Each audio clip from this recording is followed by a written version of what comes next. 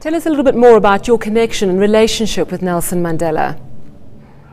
Well, um, uh, Nelson, uh, we have been friends for a very, very long time.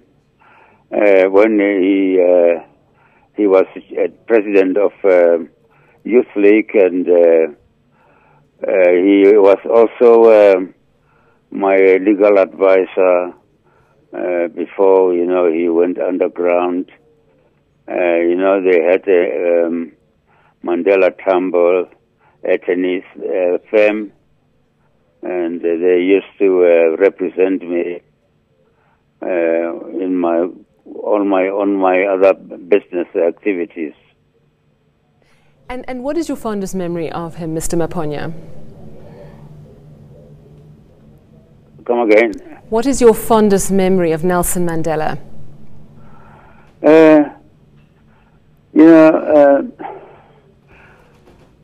we have uh, suffered a great loss, a loss that uh, is irreparable. Um, you know, he has left uh, us with a, a wonderful legacy uh, because he taught us that um, as human beings, we must always uh, quarrel and forgive one another. I remember when uh, I visited him for just before he was to be, about to be released, and uh, I spent a day with him there, together with uh, my late wife, and he, I asked him, uh, what is it that he would like us to do when he got released?